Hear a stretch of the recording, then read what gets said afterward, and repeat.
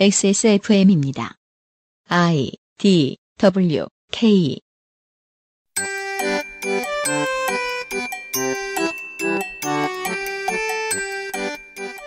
양산형 시사평론 민하문구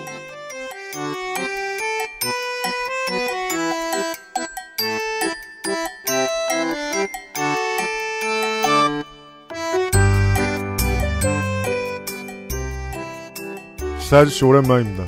안녕하십니까.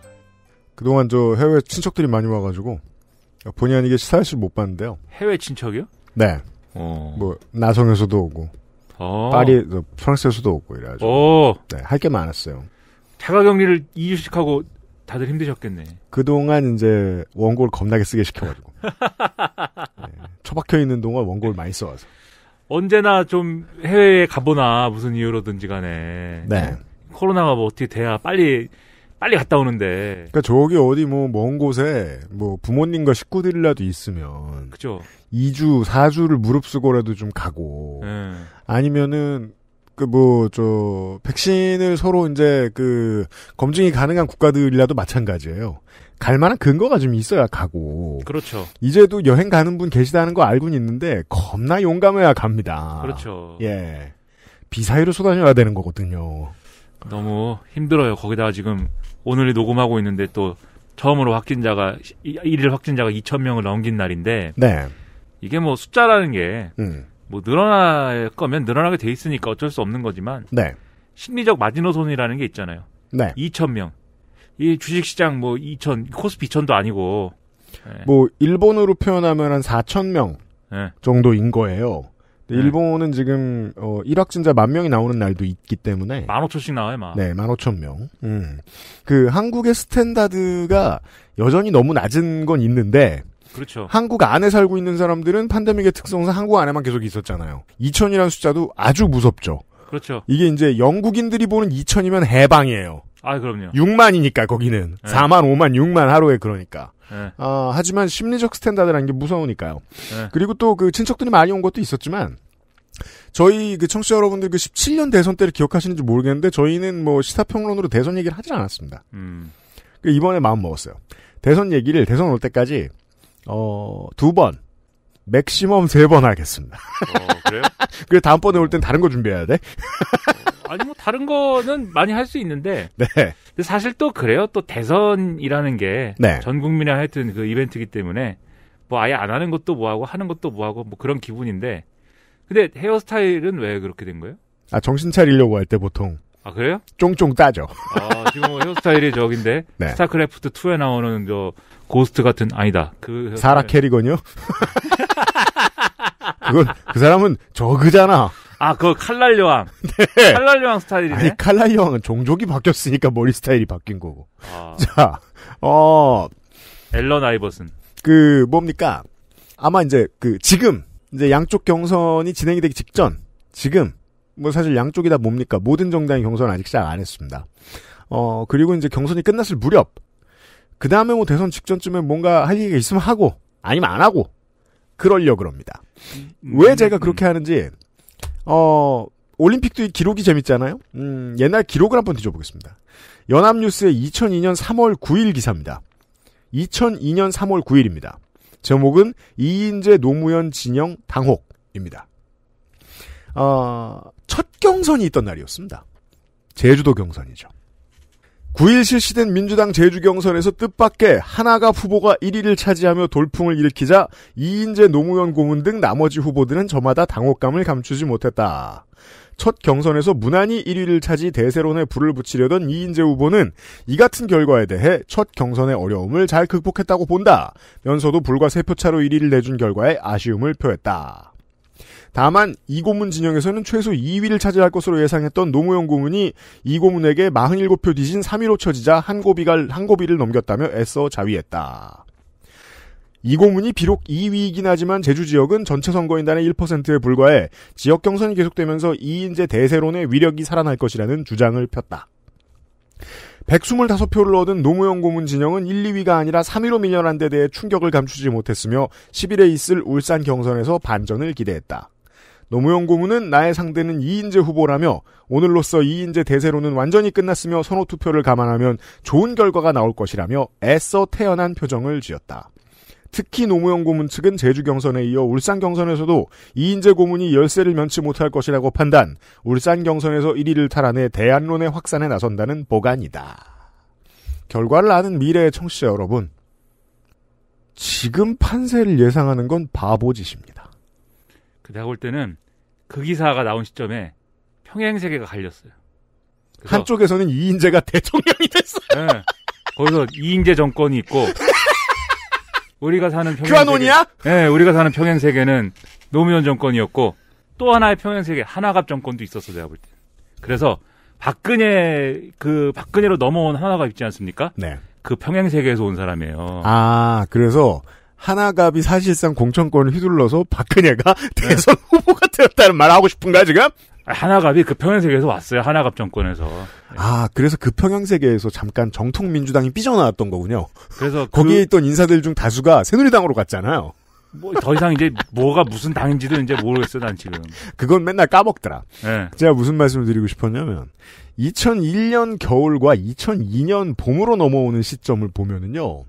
일단은 그 국민의 정부의 아, 지지율이 워낙 낮았고 아, 국민의 정부에 완전히 등을 돌린 민주당의 다수가 바람에 풀릅듯 이인재 캠프로 모두 쏠려 들어갔었습니다. 이인재 대세로는 반년을 넘게 이어졌습니다. 경선이 시작돼서 그것이 조금씩 무너지기 직전까지요. 그게 무너지는데 경선 기간이었던 한 달 며칠 정도가 걸렸습니다. 그 전까지는 아무도 그 결과를 예측하지 못했죠. 그리고 어, 사람들이 많이 거기 모여 있다 보니까 모여 있던 사람들이 노무현 고문이 이기니까 화가 난 거죠. 그래서 후보 단일화 협의, 회를 만들어 가지고 계속해서 후보를 흔드는 일을 했죠. 왜냐하면 대세론이 무너진 건 불쾌한 일이니까. 그렇게 진행이 됐었습니다. 그때도 생각했습니다. 나이도 많이 먹었고 정치도 오래 해본 사람들이 그 전년도의 지지율이라는 게 뭐 그렇게 대단하다고 줄을 저렇게 열심히 섰지? 전 지금도 그런 생각입니다. 전 지금의 숫자가 아무 의미도 없다고 생각합니다. 우리는 오늘과 내일 지금의 숫자에 대해서 별 얘기를 할 것 같지는 않습니다. 네. 다른 데서 이제 대선 얘기하는 것처럼 여기서 할 수는 없어요.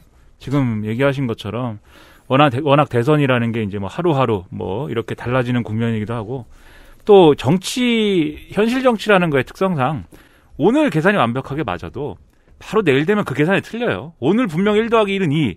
딱 했는데 내일 되면은 1이 1도 아니고 2도 아니고 막 이래 버려요. 시즌이 시작되기 전에 어느 팀이 플레이오프에 올라갈지 순위가 어떻게 될지 전문가들한테 예측하게 하는 건 그냥 점성술 같은 재미입니다. 그렇죠. 시즌 중에 누가 부상을 당할지, 누가 술판을 벌일지 어떻게 알아요? 그렇죠. 그리고 예. 이제 다만 이제 이 이제 뭐 일상적으로 이제 그런 정치 평론을 하는 거는 일단 그날 나온 뉴스를 이제 이해하는데 도움이 된다든지 뭐 이런 측면이 있어요. 그래서 그래서 하는 측면이 있는데 네. 근데 저는 이제 선거나 정치에 접근하는 어떤 시각이나 이런 게 어, 앞으로의 이 선거라는 게임에서 누가 유리한 고지를 점할 거고 누가 유리해질 것이다 이런 게임의 측면에서 해설을 하고 해석하고 뭐 그런 것도 필요한데 네. 왜냐하면 어떤 선거의 게임을 사람들이 또 이해를 해야 되니까 근데 방송을 틀어보면 다 그 게임 얘기만 하고 있잖아요. 그렇죠.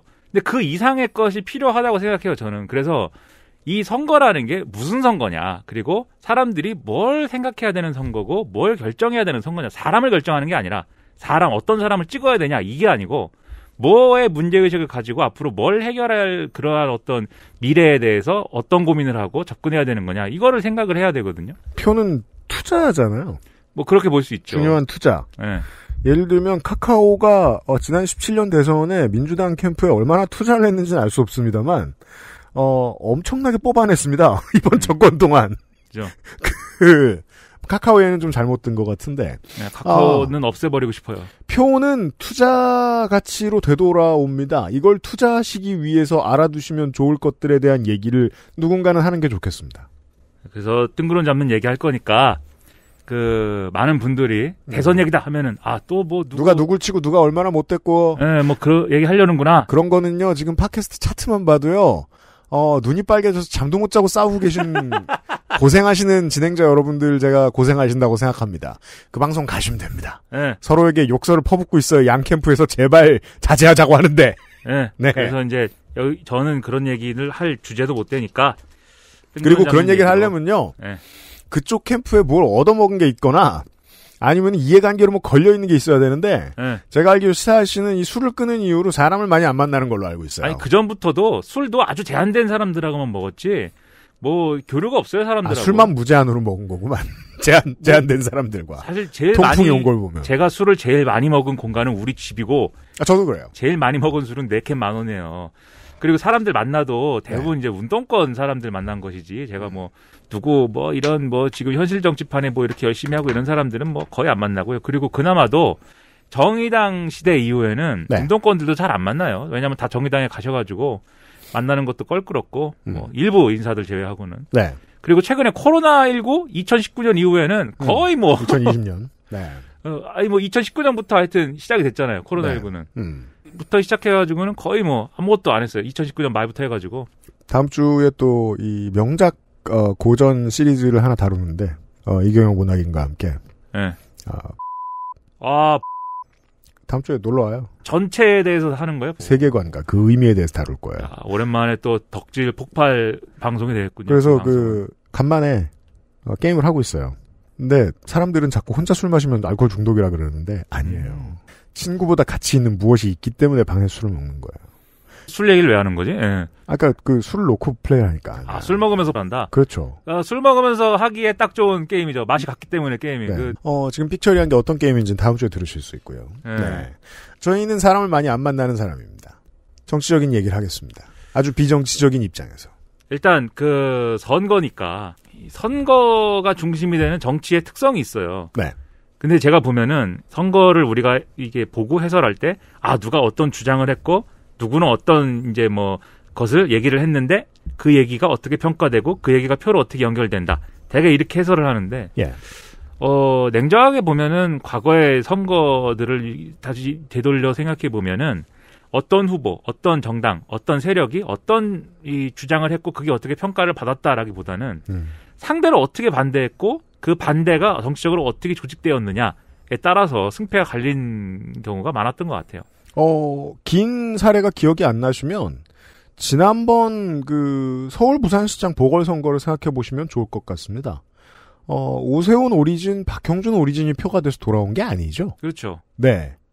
어떠한 실책에 반대하는, 그렇죠. 어, 어떠한 불만을 일으킨 정치 프로세스에 반대하는 사람들의 심리가 표로 돌아온 거죠. 그래서 단순하게 비유를 하면은 이런 거예요. 예를 들면 민주주의라는 게 뭐 100명이 있으면 100명이 각자 의견을 내는 게 민주주의잖아요. 예. 그 의견이 찬반이 되는. 근데 이 100명이 서로 다른 의견을 가지고 있는데 음. 이 100명의 의견을 다 모아 가지고 하나의 어떤 합의점을 찾는 것은 매우 어렵습니다. 정당에 들어가 본 적 있으신 분들은 아실 거예요. 예, 그게 진이 쏙 빠져서 정치하기 싫어요. 그렇죠. 이게 이게 단순화 시켜서 얘기하면 이건 어려운 일인데 하지만 근데 그 100명 중에 한 명을 반대하자고 한 다음에 나머지 99명을 이 반대에 동의하도록 만드는 건 대단히 쉽습니다. 그게 극우가 정치하기 좋은 이유죠. 트럼프가 차이나 차이나 하면 표가 올라가요. 멕시코의 벽, 벽, 그럼 표가 올라가요. 그렇게 합의 보는 건 쉬운 일이에요. 그래서 오늘날 이제 흔히 쓰는 이제 구도가 이제 진보 대 보수 구도 이런 거잖아요. 음. 근데 진보의 편에 서는 사람들과 보수의 편에 사람- 서는 사람들의 어떤 속내 이런 뭐 갖고 있는 생각, 사상 이런 걸 뜯어보면 과연 이 사람은 진보라고 분류할 수 있는가 또는 보수라고 분류할 수 있는가 애매한 경우가 많을 거거든요. 정치를 자세히 뜯어보면 그런 생각이 들죠. 어, 저 사람은 꼭 이 정당에 있는 게 어울리는 사람이 아닌데? 그렇죠. 어, 네. 저 사람은 예전에 있던 그 정당이 더 잘 어울리는데? 여기서 뭐 하는 거지? 돌아다니면서 이제 이런저런 얘기를 하다 보면은 예. 어떤 분이 그런 얘기도. 이제 여론조사 결과 같은 거 들고 와서 과거에는 내가 당신은 진보적입니까 보수적입니까 이렇게 물어보면 음, 과거에는 나는 좀 보수적인 것 같아요 이렇게 답하는 사람이 조금 더 많았는데 맞아요. 어, 이제는 나는 진보적이에요라고 답하는 사람들이 많아졌다. 음, 이것은 기본적으로 이제 유권자 지형이 바뀐 것이고 음. 그렇기 때문에 앞으로는 에, 다소 진보적인 정치 세력이 우위인 그런 어떤 아, 그러한 정치 체제의 시대이다. 이렇게 이제 평가하고 해설하는 경우가 있거든요. 네. 근데 저는 이제 한편에서는 그런 측면이 있다고 생각하면서도 다른 한편에서는 꼭 그렇지 않을 거다라고 보는 게 대표적으로 이제 지난 재보선 같은 경우가 그랬던 거죠. 음. 어, 내가 이 물어 당신은 진보입니까 보수입니까라고 물어봤을 때 음. 진보입니다라고 얘기하는 게 나의 삶에 대한 태도가 꼭 진보적이어서라기보다는 보수가 보수가 부적절하다고 생각하기 때문에 어디 가서 진보야. 보수라고 말하는 게 민망하다. 예, 그 뭔가 하여튼 그게 민망해서든 그 보수라는 사람들이 잘못됐다고 생각해서든 박근혜가 국정농단을 해서든 이명박이 다스 비비케를 해서든 이 보수는 아닌 것 같아. 음. 라고 생각해서 난 진보야. 라고 얘기하는 사람들이 있는 거고 음. 보수의 경우에도 그게 뭐 북한 때문이든 간에 뭐 누가 빨갱이 공산주의자여서든 간에 아니면은 김민아라는 친구가 있는데 이 자식이 아주 몹쓸 놈이었는데 이놈이 아주 좌파라고 떠들고 다니더라 그런 이유이든 간에 내가 김민아가 싫어서라도 난 보수요. 어 나는 음. 내가 보수인 것 같아. 음. 뭐 이렇게 생각하는 경우도 있는 거고. 근데 그래서 사실 어 이 진보다 보수라는 얘기가 대개는 진보 난 진보야라고 할 때는 난 보수가 아니야인 의미에 가까운 것 같고. 그게 좀 공기처럼 떠돌아다니죠. 예. 그 이거는 실제로는 지금 제일 잘 이해가 된다라고 느끼실 분들은 부산이나 울산에 계신 청취자 여러분들이 아닐까 생각이 들어요. 당장 20년 전에 거기에 있는 사람들을 만나면 정말 아무렇지도 않게 편안하게 얘기했어요. 부산은 한나라당 찍어야 되는 거 아니라. 그게 별로 불편하지도 않고 어, 발화하는데 문제가 없었던 말이었던 거예요. 근데 지금은 스스로를 보수로 말하기에 좀 어려운 혹은 스스로를 이 원래 이 지역에 오리진을 두고 있는 정당을 지지한다고 말하기 좀 어려운 분위기로 부산과 울산은 바뀌어 있어요. 예. 예. 그 변화를 잘 느끼실 거예요, 아마. 그래가지고 보수다라고 하면은 진보가 아니어서 보수라고 하는 사람 이제 이렇게 돼 있는 거고 그렇기 때문에 때만 되면 이제 진짜 진보와 진짜 보수를 막 찾습니다 사람들이 아 얘가 진보가 가짜 진보였던 것 같다 진짜 진보를 찾자 보수도 가짜 진보였던 것 같다 진짜 보수를 찾자 주변에 있던 어떤 사람이 최재형 전 원장한테 그런 말을 한 거죠. 진짜 보수로 포지션을 잡으십시오. 근데 애국가를 부르세요. 예 진짜 보수란 뭘까요 근데 애국가. 그것도 그것도 웃긴 거예요. 그런 시각에서 보면은 보수라는 뭔가에 굉장히 어, 충성, 로열티를 굉장히 강하게 갖는 사람이 진짜 보수이잖아요. 그 점은 이제 올 초에 시사 아저씨와 나누었던 이야기를 다시 참고해 보시면 좋습니다. 네. 한국의 보수 정당과 민주당은 어느 뿌리에서 왔고 어느 오리진을 가지고 아직도 줄다리기를 하고 있느냐. 예. 음. 근데 또 어떤 사람들은 예를 들면 지금의 이제 그 지금 지금은 저 국민의힘이죠. 네. 자꾸 당명을 바꿔. 국민의힘은 진정한 보수가 아니야. 가짜야. 수구 세력이야. 이렇게 얘기를 하면서 음. 진짜 보수라면 이러저러 해야지. 라고 얘기하는 사람들이 또 있잖아요. 그건 이제 여의도 연구원 출신의 사람들이 많이 하는 얘기죠. 정당 이름으로 이렇게 장난치면 안 된다. 우리는 자유당이나 공화당 합시다. 그런 사람도 있고 예.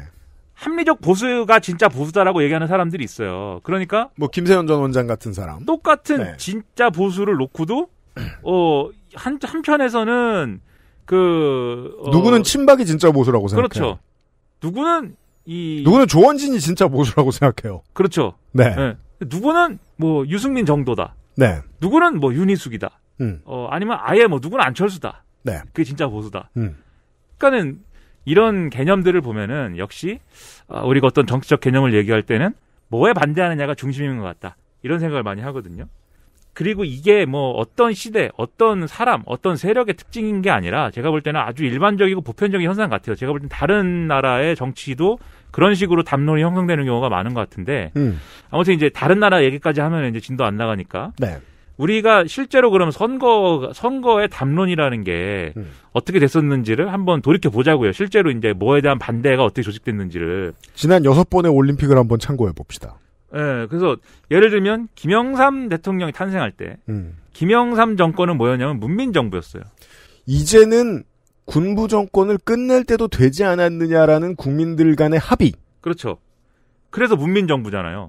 노태우가 진짜 보통 사람이었다더니 당시에 이제 그 사설에 제일 많이 나오는 얘기였죠. 네. 보통 사람이 아니었다.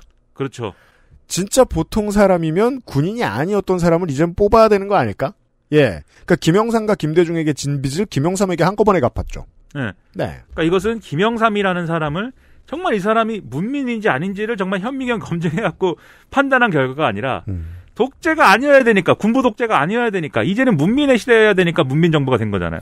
그러니까 군부 독재에 대한 반대의 의미를 갖고 있는 정권이죠. 물론 그 판단이 다수였느냐? 아닙니다. 그 판단을 하는 시민들을 주류로 만들기 위해서 해야 했던 일이 있습니다. 군부 독재의 후신에 김영삼이 들어가야 했죠. 뭐 김영삼은 그런 선택을 했죠. 네. 그렇기 때문에 더더욱 이제 뭐 문민 정부 얘기가 그 이제 자기 정당화를 위해서라도 제가 그걸 것들이 필요했던 건데 예, 제가 그걸 정치적으로 나쁘다고 보지 않는 것이 그 다음 정권도 결국은 비슷한 타협을 했기 때문에 탄생할 수 있었거든요. 그렇죠. 그 다음 정권이 김대중 정권, 네. 국민의 정부인데 음. 이때는 왜 어, 정권의 의의가 뭐였느냐라고 네, 하면 정권 교체, 수평적 정권 교체가 의의였어요. 그렇습니다. 수평적 정권 교체라고 하면 정권 교체를 당하는 세력에 대한 반대잖아요. 그렇죠. 근데 이게 구체적으로 뭐냐? IMF 위기, 외환 위기를 초래한 세력은 더 이상 이 나라를 운영할 가격이 없는 거 아니냐? 외환 위기가 드디어 국민들에게 합의를 이끌어내죠. 이 정당 버릴 때도 되지 않았느냐. 너무 오랫동안 해왔는데 이분들이 네. 너무 오랫동안 통치를 해왔는데 당시에 이제 신한국당이 근데 이제 와서 보니까 예 이거 외환 위기를 불러일으킬 정도의 무능하고 더군다나 자기들끼리 해먹은 것 같고 음. 뭐 이거 더 이상 안 된다. 이제 세력을 계속- 교체하자. 언론도 계속 얘기합니다. 자유당, 공화당, 민정당, 신한국당이다. 네. 그래서 이것에 대한 반대로서 이제 김대중 정권의 정당성이 확보가 됐고 그리고 이 희망을 가지고 있는 시민들을 메이저로 만들기 위해서 충청권과 어, 일부 군부에 대한 지지자들을 끌어들입니다. 그래서 DJP 연합을 하잖아요. 네. 근데 이게 뭐 이 역대 선거사의 뭐 어떤 어, 탁월한 전략이다. 뭐 이렇게도 이제 많이 해설하지만 전 야구랑 똑같다고 생각해. 이기면 탁월한 전략이지. 그렇죠. 이겼으니까. 졌으면 그것 때문에 진 거고. 그리고 DJP 연합이 아니었으면 실제 정권 교체가 안 됐을 테니까. 네. 근데 이제 DJ하고 JP는 음. 완전히 다른 사람이고 네. 그 당시에 삼김 시대의 주역들이긴 했지만 김종필은 어쨌든 혁명 세력이시잖아요. 그러니까 말하자면 지금 이번 주에 시민단체들이 거리에 나와서 1인 시위를 하면서 들고 있는 팻말이랑 똑같아요. 문재인이 촛불을 저버렸다. 예. 라는 말을 DJP 연합을 하겠다고 주장한 당시의 시민들도 그렇게 말했을 거예요. 그렇죠. DJ가 지금 뭐 하는 짓이냐? 예. 네. 근데 이게 결국은 난 당선돼도 너네랑 안 놀아. 근데 양, 이 대세에서는 양해가 된 거잖아요. 그렇죠. DJP 연합 할 만해. 그게 인정이 됐으니까는 선거에서 이겼겠죠. 네. 이게 왜 인정됐느냐? 반대해야 될 대상이 너무나 명확하게 정치적으로 조직되어 있기 때문에 그리고 오늘 신문을 보면요. 경향신문을 읽든, 조선일보를 읽든, 말지를 읽든, 어, 뭐, 2000, 97년이죠. 96년 말에 오늘 신문이나 잡지를 읽으면, DJP 연합 때문에 세상 무너질 것 같은 논평들을 많이 읽을 수 있어요. 네. 그렇지만, 어, 김대중이 당선되자 다 울었습니다. 그렇죠. 동아일보부터 말지까지 다 울었습니다. 한 번쯤 군부에 탄압당해 본 적 있던 모두가 네. 정권 교체가 수평적으로 일어났다, 일어났다며 다, 이- 다 울었어요. 네. 네.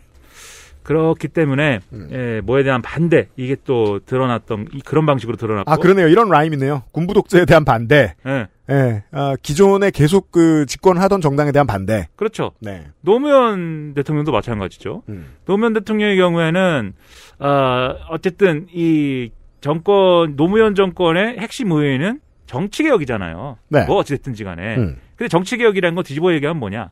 지금까지의 그 이전까지의 정권들, 그 이전까지의 정권을 책임졌던 정치 세력들은 다 기성 정치고 기성 정치에 한계가 있고 문제가 있다. 그 기성 정치를 반대해야 된다. 새로운 정치해야 된다. 이런 코드였습니다. 그렇죠. 삼김과의 결별, 보스 정치와의 결별. 그런데 이회창은 보스 정치를 하려는 사람 같다. 그렇죠. 예, 이인재는 그 전에 보스가 암묵적으로 인정해준 사람 같다. 음. 이런 반발이 있었죠. 그런 것이 있기 때문에 그 반대를 조직화해서 이제 아, 이 노무현 정권이 들어설 수 있었던 것이고 네. 이명박 때는 뭐였냐면 이- 지금은 이제 이명박은 우스갯소리지만 이제 음. 이명박은 우스갯 소재가 이제 됐지만 네. 이명박 대통령이 당선될 때는 본인들은 어, 그 정권의 의의를 실용주의와 실리주의의 승리라고 평가를 했어요. 이명박의 당선이야말로 지난번 올해의 재보선과 정말 그림이 닮아 있었습니다. 그렇죠. 네. 이때 이전에 이 노무현 정권의 정치 개혁, 즉 정치 개혁이라는 거는 뭔가 개혁한다는 건 결국 어떤 이상을 쫓는다는 거잖아요. 그 이상을 이루기 위해서 노력한다는 거잖아요. 음. 그래서 그 이상을 이루기 위해서 노력을 했는데 그 노력을 하는 배경에 그러한 이제 뭐 정치 개혁은 좋은데 실질적으로 정치 개혁이 우리의 먹고 사는 문제를 해결해 주지는 않은 것 같아라는 시민들의 표심이 있었던 거예요. 87년대에 87 시대의 투쟁의 주인공들이 나서면 뭔가 이상이 이루어질 거라고 믿었던 사람들에게 이제 드디어 어, 조중동이 전면에 나서서 네. 그거 아니야. 너넨 더 힘들어질 거야. 라고 주입하기 시작합니다. 그리고 어떤 부동산 문제라든지 비정규직 문제라든지 이런 부분에 있어서는 뭐 참여정부가 잘하지 못했어요. 지금하고 닮은 지점이 있죠. 네. 주식 화랑과 기업의 성적이 좋아지는 이 두 가지의 긍정적인 측면은 한국에선 무조건 부동산을 올려버렸습니다. 예. 그건 노무현 정권 당시와 지금이 비슷하죠. 그러다 보니까 이명박 때는 이명박 대통령 전 대통령에 대한 지지의 그 핵심은 수단과 방법을 가리지 않고 실리를 챙겨달라. 이상에 얼매이지 말고 실용적인 걸 해달라. 그거였다는 거예요. 전 그건 이제 당시에 유행하던 말. 아, 부자 되세요. 저거 지저분한 거 알아. 근데 갔다가 방을 훔칠 거야 저거. 그렇죠. 내가 예. 어, 어디라도 닦는 데 쓸 거야 실용적으로. 예. 그런 마음이었다 사람들의 표심은. 그래서 이 이상의 이상주의에 대한 반대가 이 실용주의라는 키워드로 조직된 거죠. 그렇죠. 그러니까 사실은 이제 이명박 정권은 그런 성격이었고 그렇다면 박근혜는 뭐에 반대해서 뽑아준 거냐? 박근혜 때는 이명박이 싫어요. 이제- 그렇죠. 근데 실제로 박근혜를 찍으면서 이것이 개혁이다, 이것이 대안이다라고 말하는 사람들이 있었어요. 예. 이명박이 지겨우면 박근혜가 대안이라고 말하는 사람들이 있었어요. 뭔가 그렇죠. 이명박에 반대해서 박근혜를 찍기로 한 거예요. XSFM입니다.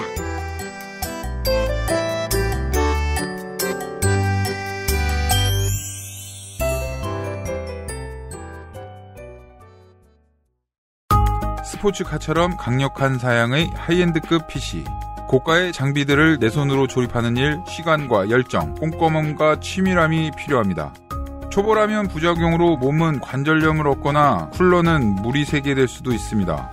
컴스테이션을 고민해 주십시오. 이달의 PC로도 custom 사양으로도 빠르고 견고하게 만들어 드립니다.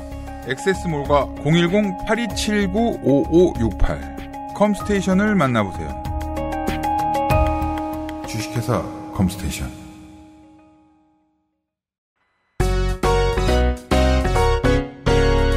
퍼펙트 25 전화 영어 Hello 퍼펙트 25 전화 영어 매일매일 25분 동안 해봐요 끝 퍼펙트 25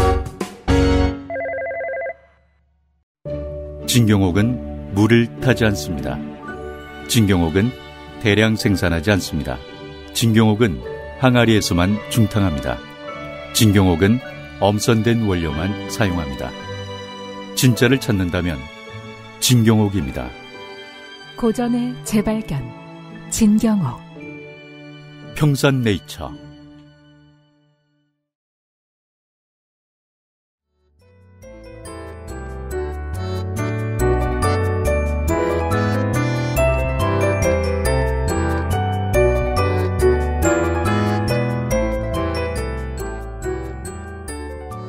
이명박이 처음에는 뭐 실용주의, 실리주의 얘기를 했지만 이후에 뒤로 가면서 완전히 이제 뭐 그것은 이제 나꼼수 역할도 있었는데 이명박 하면 완전히 어떤 그 어? 나라를 이용해 가지고 타락의 상징. 예, 사익을 추구하는 사람이 이제 돼 버린 거잖아요. 그때 뭐 4대강 얘기부터 시작해서 무슨 뭐 리만 브라더스 그다음에 무슨 뭐뭐뭐 있습니까? 그때 어 막 생각도 나 고환율 정책 얘기도 뒤에 하겠지만 음. 뭐 그런 것도 있고 자원 외교 뭐 이런 것도 있고 아무튼 뭐 엄청 해먹는다. 네. 가스 BBK부터 시작해서 음. 그런 얘기가 이제 되다 보니까 음. 뭔가 어, 사람들이 생각할 때 이명박이 아닌 것을 뽑아야겠는데 그것은 뭐냐면 이명박이 이- 이명박의 통치는 공적인 어떤 통치가 아니라 사적인 통치다. 음. 어떤 사익 자기의 사익을 위해서 활용하는 통치기 때문에 그게 아닌 사람, 공적인 것을 위해서 통치를 할 사람 뽑아야겠다. 음. 그거를 누가 어떤 요소를 갖고 보장하느냐? 박근혜는 전직 대통령의 딸이고, 박정희의 딸이고. 예. 그리고 가족도 없다. 음. 뭐 없진 않죠. 두 동생이 있고 네. 우리가 뭐 그때는 잘 알지 못했던 네. 예. 가족 같은 존재가 예, 있고. 가족 같은 존재가 있습니다. 음. 아무튼 그때는 잘 몰랐으니까. 그리고 실제로 이렇게 생각했습니다. 정말로. 예. 그래서 뭔가 공적인 것의 귀환을 박근혜를 쓸- 뽑는 것에 이, 뽑는 것으로 이 현실화시키려고 했던 표심이 있었던 거예요. 제가 그래서 이걸 청백리 컴플렉스라고 자꾸 비하하는 거예요. 어떤 정치인, 정치 지도자가 청백리이길 바라면 이런 결론이 나온다는 거예요. 예, 예. 하지만 박정희라고 청백리였느냐? 아니라는 거 이제 우린 잘 압니다. 예. 여튼 어, 사익을 추구했던 이명박에 대한 반대항으로 박근혜를 택했다. 그러면 문재인을 안 택했느냐? 이명박이랑 조금만 달랐으면 좋겠다.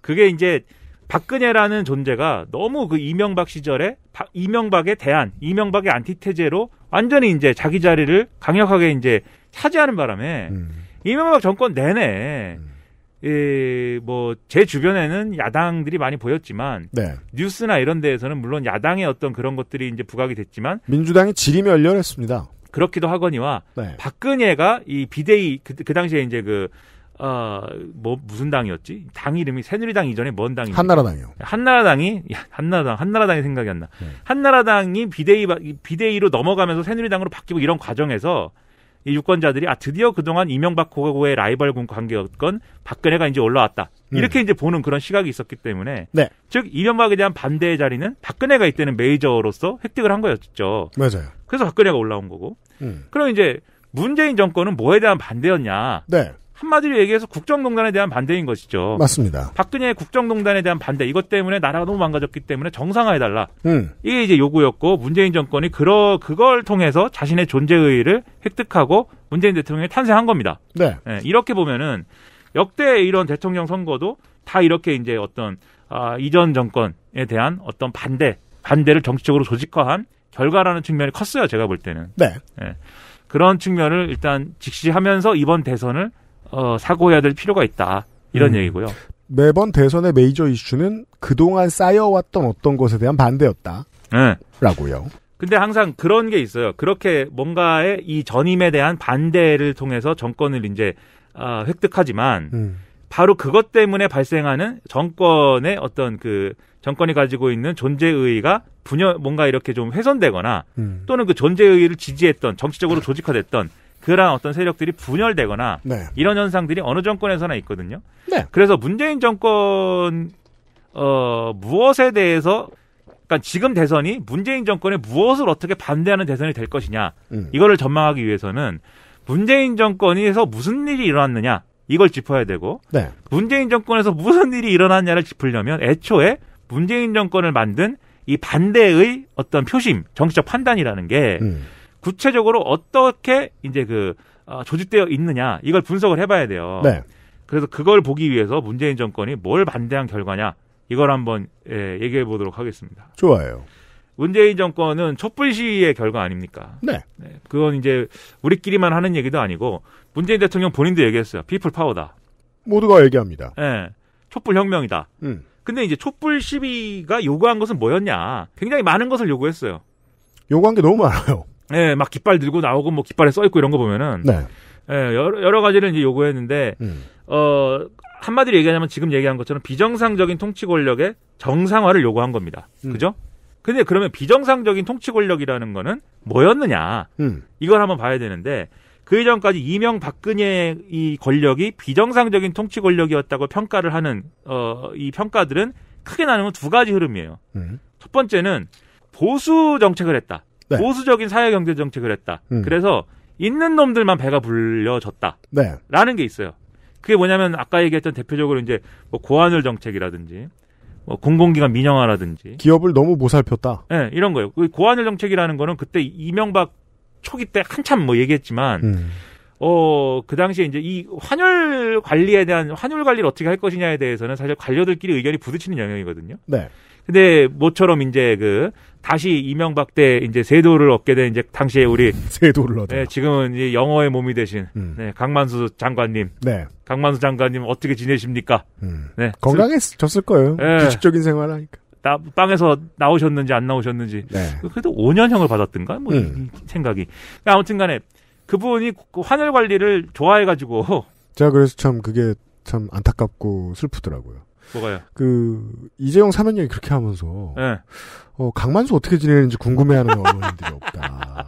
강만수 때문에 그 배가 부른 사람들이 많은데 야 이렇게 고마움을 잊어버리나. 예, 여튼 강 회장님 믿지 마라. 네. 아무튼 그, 그 환율 관리를 좋아해가지고 당시에 금융위기 당시에 고환율을 유지를 해가지고 맞습니다. 이 경제를 관리해야 된다 이 주장을 폈거든요. 음. 그때 많이 나온 반론들이 그렇게 고환율을 유지하게 되면 결국은 수출 기업들만 유리하고 음, 수출 기업들만 돈을 벌게 되는데 그 수출 기업이라는 사람들은 대개 대기업인 거 아니냐. 네. 그리고 대, 그거를 뒷받침하는 또 이명박 정권의 논리가 대기업이 잘 되면 에, 낙수 효과. 낙수 효과가 일어나가지고 레이건이나 하던 말. 예, 그 밑에 사람들 다 좋아지는 거야. 음. 그러니까는 대기업에 잘, 대기업에 잘 되는 정책이라고 자꾸 미워하지 마. 이런 거였는데 그것 때문에 어쨌든 낙수 효과가 그래서 일어났느냐? 네. 안 일어났잖아요. 기업들은 컸습니다. 예. 대기업만 더 배가 불렀지. 네. 그래서 그게 잘못됐다.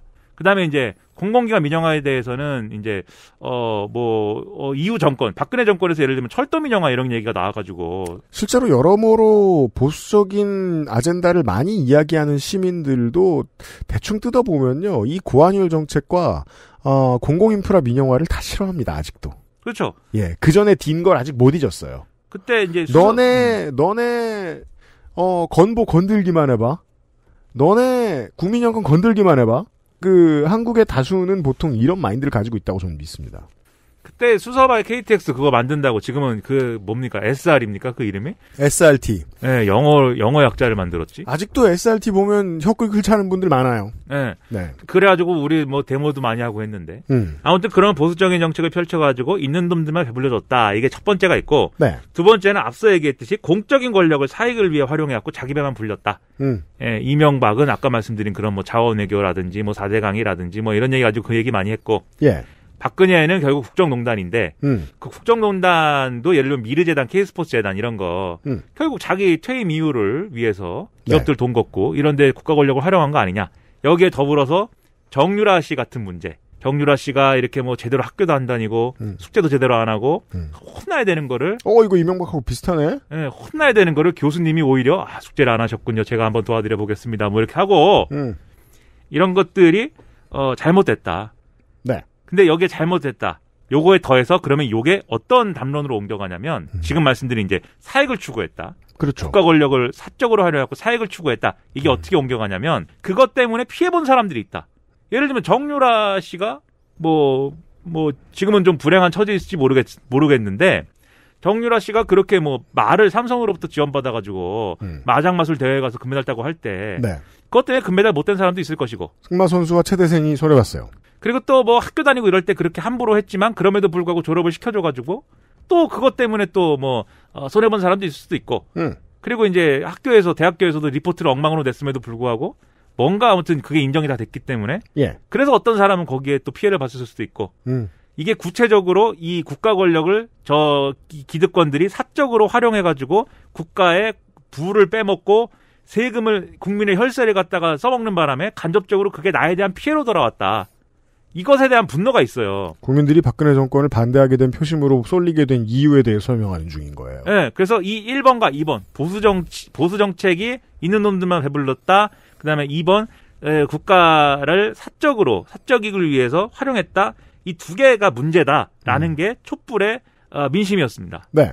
그래서 이게 문제이기 때문에 이러저러한 거를 해야 돼라고 정말 많은 제안들이 거기서 나왔던 거예요. 그래서 근데 이제 그러면 문재인 정권이 여기에 대한 반대로 반대를 정치적으로 조직해가지고 그러면 이제 아, 성립이 된 거잖아요. 그렇습니다. 이 반대는 그럼 구체적으로 뭘로 연결해야 되는 거냐를 따졌을 때첫 음. 번째로 보수 정책이 문제였다고 했으니까 이제는 그럼 진보적 정책을 해야죠. 그 반대편에 있는 거. 그렇습니다. 그렇죠? 음. 그래서 여기서 진보적 정책이라고 말하면은 뭐 사회 공공성을 강화하는 그러한 어떤 뭐 정책이라든지 그다음에 어 노동 친화적인 경제 정책이라든지 그다음에 최근까지 뭐 문제가 되는 뭐 탈원전 정책이라든지 그 무언가를 제대로 했다는 평판이 높아졌던 시기에 어, 치렀던 총선의 결과가 어, 역사상 가장 좋았던 데에는 이런 맥락이 있는 겁니다.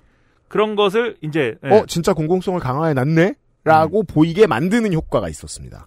그래서 이런 거를 하겠다고 한 거예요. 문재인 대통령도 음. 진보적 정책. 그래서 네. 공약을 보면은 진보적인 예를 들면 시민단체라든지 진보 정당이 좋아할 만한 음. 그러한 대- 정책들도 많이 들어가 있잖아요. 음. 대통령 후보로서 한 공약을 보면 네. 그런 맥락이 있고 두 번째는 어 방금 말씀드렸듯이 공적 권력을 사익을 위해 활용했다. 이게 아닌 뭔가를 대, 대안을 제시해야 되기 때문에 음. 그럼 뭘 해야 되냐라고 한다면 기회를 공정하게 보장한다. 이게 필요해요. 아까도 음. 말씀드렸듯이 공적 권력을 사익을 위해 활용했기 때문에 피해를 본 사람들이 있고 그것이 나에 대한 어떤 불공정함에 의한 피해로 돌아왔다라고 사람들이 생각하게 된 측면이 있기 때문에 네. 그래서 기회의 균등 보장이 그래서 나온 겁니다. 음. 그래서 기회는 평등, 과정은 공정, 결과는 정의. 이 얘기가 뭐 2012년에 나온 얘기지만 네.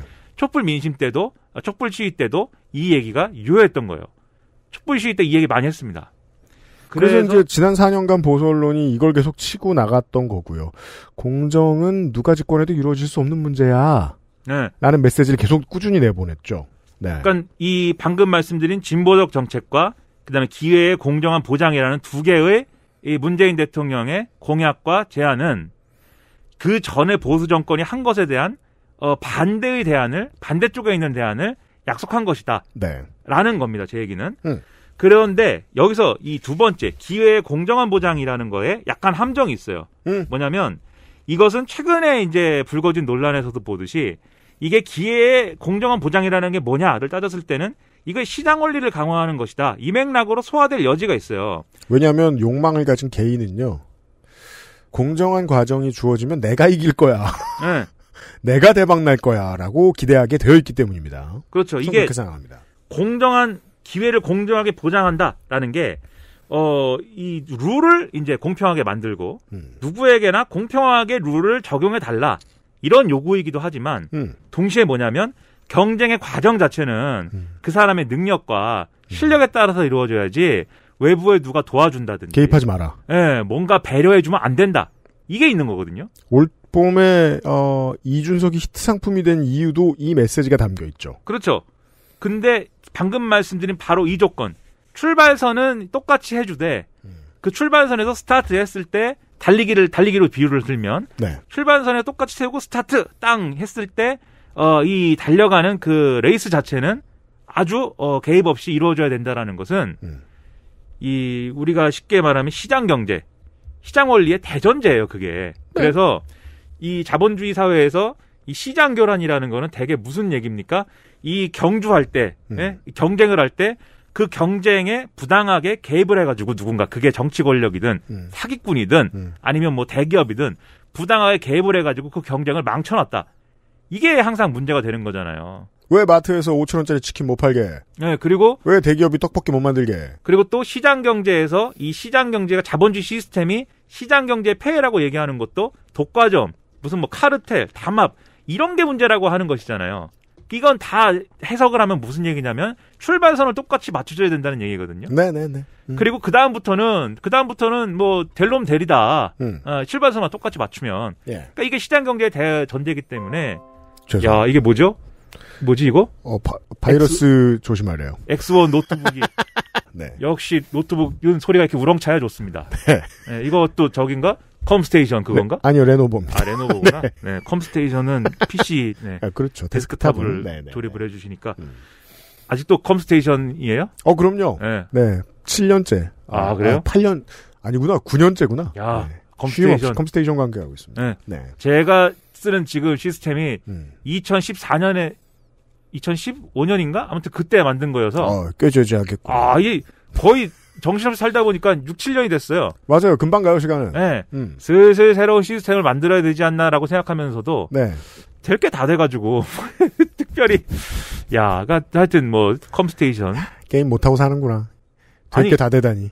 예, 뭐 그 최신 게임을 안 하는 거죠. 잘. 그니까요. 네. 안타깝네요. 음. 뭐 할수 그러면 없는. 안 바꿔도 되고요. 네. 네. 최신 게임은 콘솔로 이제 아닙니다. 음. 그 아무튼 뭘 얘기하고 있었지? 어 그래 아무튼 간에 그렇기 때문에 기회의 공정한 보장이라는 거는 언제든지 시장 원리를 더 강하게 적용해 달라로 바뀔 수 있는 것이다. 그죠. 처음에는 진보의 요구 같았어요. 예, 공정하지 못한 게임을 하는 반칙을 하는 사람들이 있으니까 상황을 공정하게 만들어 달라. 예, 근데 이게 개인의 욕망과 결합하면 원래 개인의 욕망이 모여 있는 게 정치니까 네. 그러면 내가 이기게 해달라라는 은연중에 기저의 메시지로 바뀔 가능성이 있어요. 예. 음. 그래가지고 방금 말씀드린 1. 진보적 정책과 음. 2. 기회의 균등 보장이라는 것은 충돌하거나 분리될 가능성이 이때도 있었습니다. 이걸 이미 간파한 보수 언론의 노인네들이 이미 있었던 거예요. 요 지점을 치면 되겠구나. 그래서 이게 사실은 서로 다른 가치일 수 있는데도 하나로 묶일 수 있었던 게 바로 이명박근혜에 대한 반대였기 때문에 그러네요. 마치 DJP 연합이 가능했던 것처럼 음. 이 연합이 그래서 가능했던 건데 예. 그런데 아 바로 이런 점 때문에 사실 문재인 정권이 한- 처음부터 한계가 좀 있었던 거예요. 이것은 정권에 참여하고 있는 개개인의 무슨 뭐 어떤 성향의 차이랄지 너무 진보적이지 않아서 또는 너무 보수적이어서 뭐 또는 의지가 없어서 또는 뭐 어떤 놈이 뒷돈을 받아가지고 뭐 그런 것의 문제라기보다는 기본적으로 이런 정권의 논리 자체가 이 분열될 수밖에 없는 기반에 서 있다라는 그런 조건이 있었기 때문에 어 이게 이제 약점이었는데 말씀하신 대로 중도나 진보 정권을 선택하는 그 어떤 나라의 정권이 출범할 때에도 이런 먹구름은 등에 지고 갈 수밖에 없습니다. 그렇죠. 네. 혁명을 하지 않는 이상 네.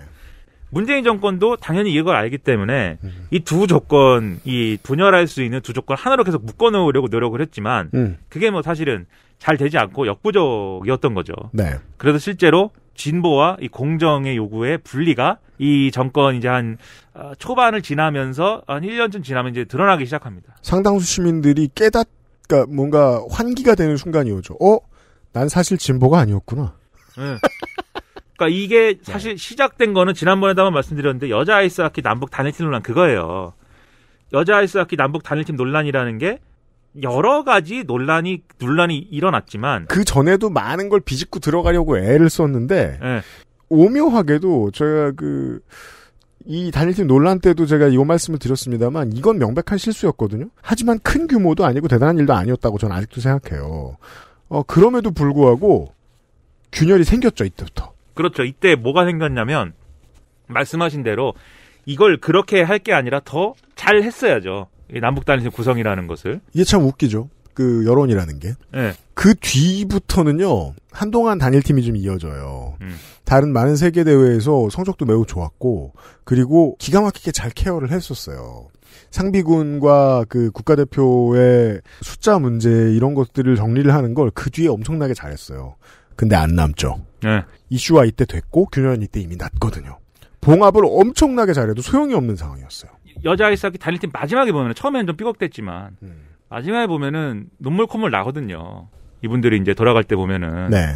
그러니까는 그런 건데 근데 정치적인 이득은 못 얻었어요. 사람들이 이제 이때 분노했던 사람들 중에 이 부분을 이렇게 이- 지금까지 이제 강조하는 건데 뭐냐면 남북 단일팀을 만드는 것은 어쨌든 진보적 정책이다라는 거예요. 왜냐하면 어쨌든 그게 남북 간의 어떤 화해에 이바지하는 방식 중에 하나이기 때문에 네. 남북 간의 관계 개선을 위한 어떤 방식 중에 하나이기 때문에 음.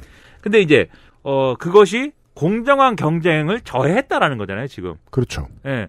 남한의 이 아이스 여자 아이스하키 선수들이 이 진보적 정책을 실시함에 있어서 손해를 보게 되었기 때문에 그것이 공정한 경쟁을 저해하는 요소가 됐다. 보수가 제대로 확신을 합니다. 이때부터 아 공정이란 단어를 쓰면 되겠구나 이때부터. 예. 여기서 진보와 분열의 조짐이 일어났고 음. 그 다음에 뭐 가상화폐 논란 뭐 이런 거 있잖아요. 가상화폐 투자를 어, 가상화폐 이거는 이제 뭐 진보와 진보와 공정의 분리라기보다는 이런 거예요. 가상화폐 투자를 왜 막냐 이 정부가. 내가 민주당 아니라 노동당 녹색당의 표를 줬다고 해도 예. 그 전에 진보신당의 표를 줬다고 해도 예. 일확천금이 싫은 사람은 없어요. 그쵸.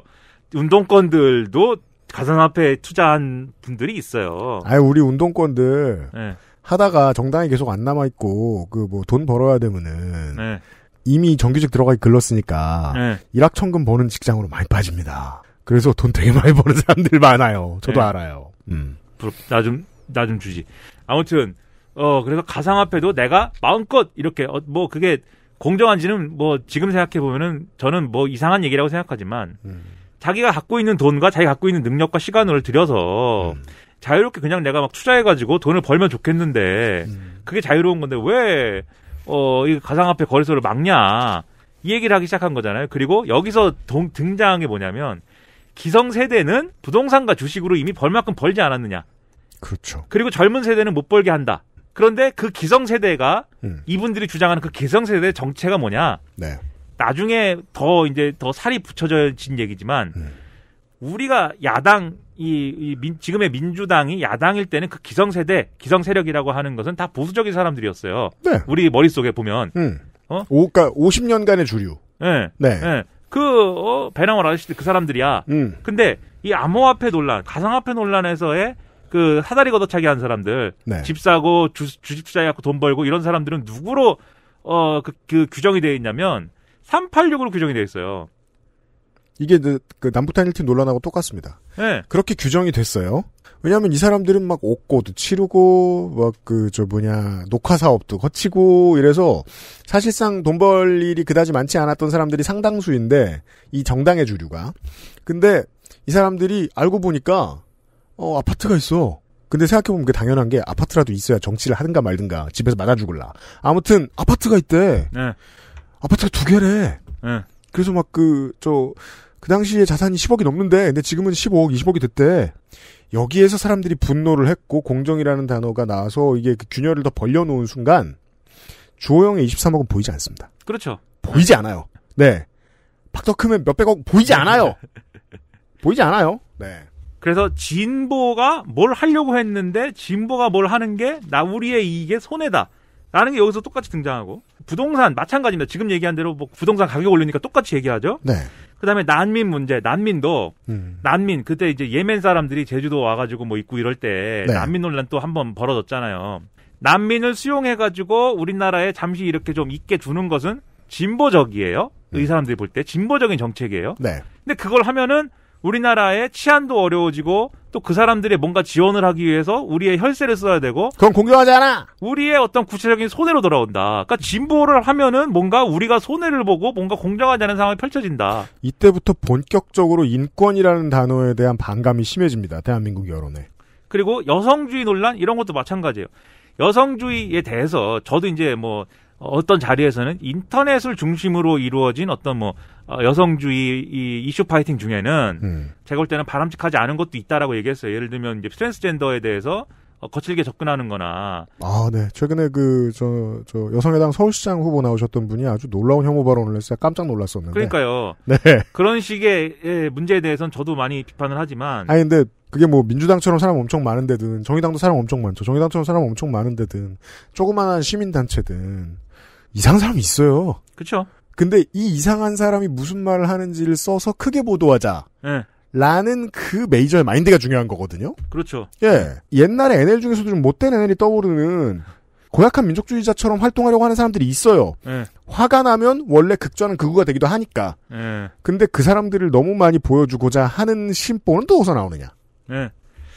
그래서 어, 이 여성주의에 대해서도 네. 지금 여성주의의 오늘날 보면은 주된 논란이 뭐냐면 이 일부 남성들이 주장하는 역차별 문제잖아요.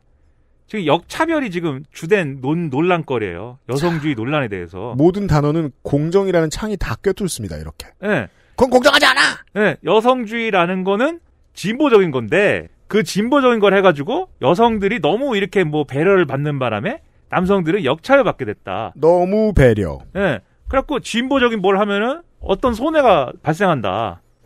그래서 저도 다음 주에 관련해서 뭐 얘기를 또 할 기회가 있겠습니다만 내가 방금 20살이 된 20년 정도의 사회 경험, 어, 인생 경험을 가지고 있는 남성이다. 라고 얘기하면 예. 어, 나와 외모가 다른 누군가를 굳이 경계한다면 그게 여성일 가능성은 높긴 높아요. 음. 왜냐하면 20살을 살아봤는데 인생의 절반은 여자아이들이 덩치가 더 컸어요. 음. 나머지 인생의 절반은 한국의 분위기를 보면 여자아이들이 공부를 더 잘했고요. 음. 그리고 20살의 알바 자리는 여자아이들께 더 많아요. 음. 10년이 지나서 그 여자아이들이 정규직이 못 된다라는 건 아직 경험 못 해봤잖아요. 20살짜리 남자아이는. 그죠. 그래서 보수에겐 좋은 먹이가 되죠. 음. 아직 경험이 일천할 때 너네가 지금 공정하지 못한 상황에 처해져 있는, 처해 있는 피해자야라고 주입시키면 스며들기 좋아요. 그래서 또 손해 받고 진보 때문에. 네. 그래서 촛불 시위할 때는 음. 촛불의 대의에 동참했을 때는 진보적인 정책, 뭔가 진보적 이상을 실현하면 나에게도 나도 좋을 된다. 줄 알았다. 예. 그렇게 생각했는데 음. 그게 아니다라는 현실이 눈앞에 있다. 아니네, 나나 살아야 되겠네. 예. 그래서 진보하고 이 공정 이 문제가 분리가 되는 겁니다. 이런 방식으로. 음. 그래서 더 이상 진보는 공정에 저해가 되는 요소이고 그렇기 때문에 공정은 공정 그 자체로 달성해야 될 목표이다. 이렇게 얘기를 하게 되는 거고 5년간 누군가가 열심히 작업을 해서 먹히는 이유가 그들이 작업을 했기 때문도 있겠지만 사람들이 이렇게 생각하게 될 흐름이 이미 예측됐던 걸 수도 있습니다. 이게 진보적인 진보적인 이상을 실현한다는 게 음. 모든 사람이 이득을 보는 진보적 이상 실현은 거의 불가능한 거죠. 진보적인 이상을 실현하려면 누군가 손해를 감수해야 되고 아니면 더 나아가서는 우리 모두가 모든 사람이 어 일정 정도의 손해를 다 감수해야 될 수도 있어요. 그래서 어떤 사람들이 좀 여유로워야 돼요. 그러니까 그, 그 시민사회의 다수가 여유로워야 돼요. 우리가 이걸 감내해 줄 테니까 이걸 해결하세요. 몇 년을 봐드리죠. 근데 한국은 그런 나라가 아니죠. 어제 시켜놓고 오늘 성질 냅니다. 지금 모더나 안 들어와서 결과가 뭡니까? 어, 2차 접종이 2주 늦어졌죠? 음. 그거 가지고 네. 처음부터 잘못됐다. 바로 화를 냅니다. 한국은 늘 이랬어요. 예, 모더나 뭐 그때 그때는 분명히 백신 처음 얘기할 때 음. 아스트라제네카 이거 뭐냐 이거 이 똥을 똥을 갖고 왔냐 무조건 파이자 모더나 갖고 와야지 이게 뭐냐 이러다가 음. 모더나 또 늦어지니까 야 파이자에 올인을 했어야지 모더나 왜 이거 승질을 막 내죠. 되지도 않는 거 기웃거리냐 그래서 이러고 너무, 재밌던 거는 그래서 궁금해서 독일이랑 뭐 미국이랑 몇 군데 언론의 얘기를 봤어요. 지금 예, 모더나가 영양 부족으로 많은 곳에 지금 납품을 못 맞추, 납기를 못 맞추고 있어서. 그렇죠 근데 많은 나라들이 관심이 일단 없고 음. 찾아보면 모더나를 좀 까요. 그 끝이에요. 근데 한국은 정권 퇴진이에요. 성질 급하거든요. 그래가지고 예. 이게 진 이- 이게 어, 이상적으로 얘기하면 네. 진보의 대의 진보적인 이상을 실현하는 게 정말 필요합니다. 음. 그걸 위해서 우리가 조금씩 손해를 감수할 수밖에 없는데 앞으로 이 올바른 사회를 만들기 위해서는 어, 감수해 하셔야 됩니다. 라고 얘기할 수 있는 사회적 조건이면은 진보와 공정이 이런 방식으로 분리되지 않을 수 있는데 함께 갔었을 수도 있죠. 예. 근데 그게 아니니까 지금까지 우리가 진보를 설득해 온 논리는 진보하면 우리 모두에게 이득이다라는 거였기 때문에 다시 복습해 보면 그때부터 얘기했었어야 되는 거예요.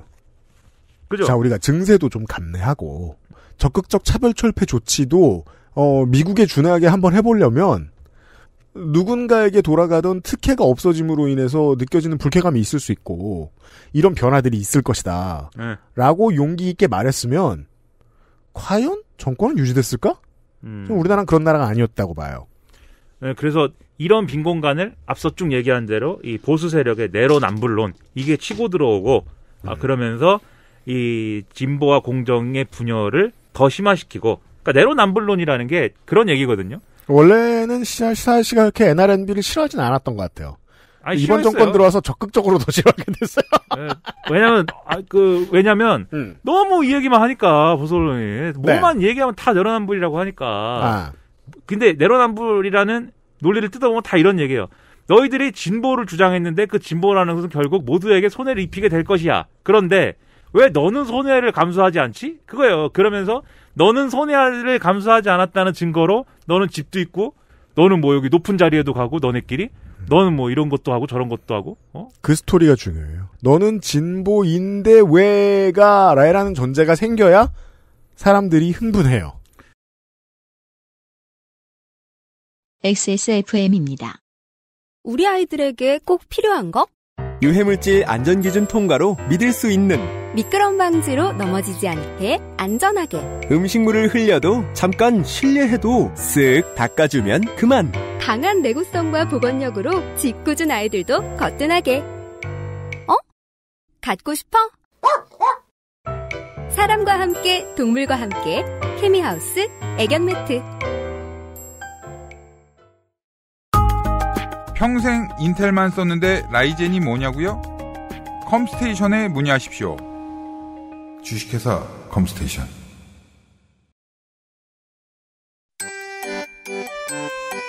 그래서 이런 논리가 먹히고 하면서 어 이제 어, 이렇게 된 건데 음. 오늘날에 이런 좀 난국이 된 건데 이게 근데 이런 방금 말씀드린 정치적 서사의 차원뿐만이 아니라 네. 어, 공정과 뭐 진보가 이렇게 좀 분열하고 애초에 그런 분야의 씨앗을 안고 있었다는 이런 점들이 구체적인 이제 정책 이런 데서도 이미 있었어요. 그런 부분까지 봐야 또 이 정권이 뭘 했고 어, 어떻게 반대에 부딪힐지를 알 수가 있습니다. 그걸 내일 얘기하죠. 아 그래요? 아, 이게 오랜만에 만났더니 예, 김민아 타임에 제가 예, 적응을 못했습니다. 예. 방심했다. 3분의 1밖에 못 했잖아 또. 아니, 남은 거 뭐 이거 10분이면 하죠 이제. 남은 자. 거는 10분이면 해요 이제. 내일의 방송은 10분밖에 안 됩니다. 예. 시사 아저씨와 다시 돌아오겠습니다. 마음의 준비를 하세요. 목요일 순서 그것은 알기 싫다를 들어주셔서 감사합니다. 내일 뵙죠. XSFM입니다. I D W K